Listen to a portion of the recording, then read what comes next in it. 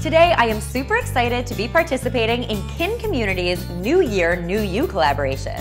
Now, for this collaboration, dozens of YouTubers have gotten together to post a new video every day through January with tips and tricks for making 2015 your best year yet. For my part in this collaboration, I am sharing one of my very favorite recipes that is perfect for Meatless Monday. Now, this year, I am really concentrating on trying to eat less meat, and participating in Meatless Mondays is a great way to do that. It's good for the environment, it's good for your wallet, and it's certainly great for your health. Today, I'm gonna share with you my recipe for my delicious black bean soup. And the coolest part is, it all cooks up in your slow cooker. So it's super simple, you can just set it and forget it. So for this beautiful soup, I'm gonna get started with some red onion, some celery, and some diced red bell pepper. Now you have two options here. You can either dump these veggies straight into your slow cooker, that will totally work, or if you wanna get a deeper flavor, you can saute them first on the stove. That's what I'm going to do today. So I've just got some oil heating up in a frying pan and to that I'm going to add my veggies. To this I'm going to be adding some minced garlic and some minced jalapeno. Now if you don't like the heat you could totally leave the jalapeno out but I totally enjoy the heat so I'm gonna go for it. We're gonna saute these for another 30 seconds and then we're going to add our spices. Now I love to toast my spices before they go into the slow cooker because the flavor gets a lot deeper and richer. So I am toasting up some cumin, some chili powder, and a little bit of oregano. I'm gonna heat these spices up for another 30 seconds and then I'm just gonna deglaze the pan using some vegetable stock. I'm gonna pour this whole mixture into my slow cooker and then I'm going to build the rest of my black bean soup. For this recipe, I'm using canned black beans. You could totally use dry black beans as well, but you'll wanna remember to soak them overnight to make sure they soften up enough.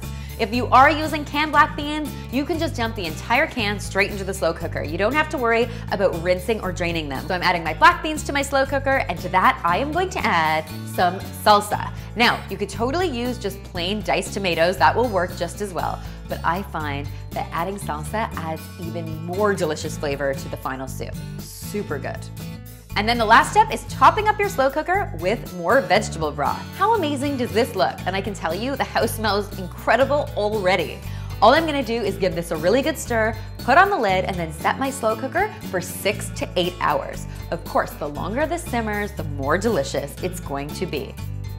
Once your soup is ready, you can use an immersion blender to puree it. Now, if you don't have an immersion blender like this, don't sweat it at all. You could totally use a traditional blender as well, but I will tell you, you need to be very, very cautious when you are blending hot liquids.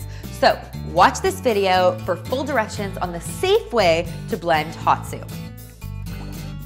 You just wanna make sure that this is in the soup before you start blending, otherwise you can make quite a mess.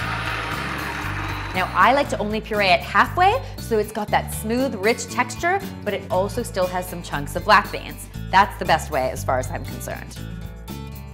Now that our soup is pureed, we're just gonna add one more delicious element. We are going to squeeze the juice of two limes into our soup.